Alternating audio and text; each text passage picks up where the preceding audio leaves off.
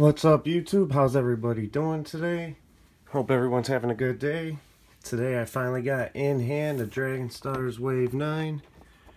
Uh, to be honest with you, I'm very upset there is no Build-A-Figure. I'm sure many of you guys are going to be as well. Which it was kind of advertised, but I was hoping it was kind of going to be a surprise.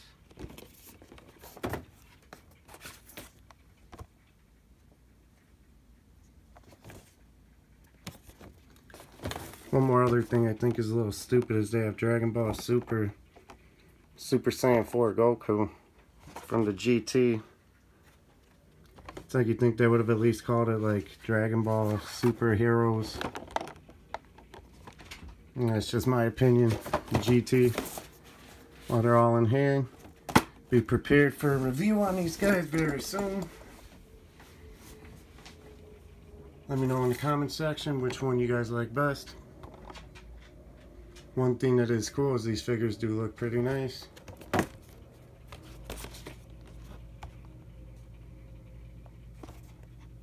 I'm going to take all these guys out the box individually, do a review on them. I got these from Entertainment Earth.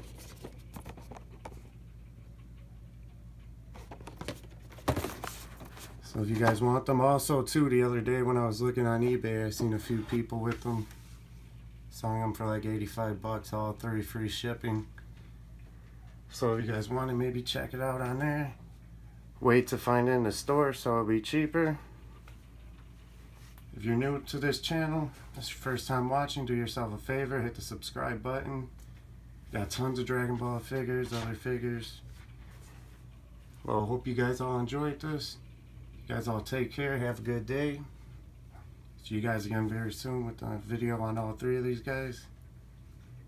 Thanks for watching and goodbye.